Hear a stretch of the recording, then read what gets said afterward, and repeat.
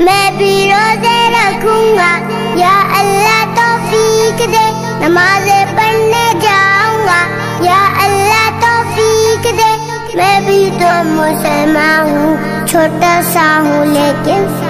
हुक्म तेरा यार मेरे लिए भी है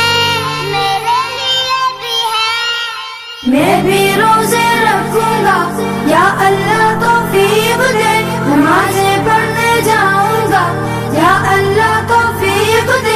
मैं भी तो मुसलमान हूँ, छोटा सा हूँ, लेकिन मैं भी तो मुसलमान हूँ, छोटा सा हूँ, लेकिन हुक्म तेरा यार मेरे लिए भी है। मन से ईमान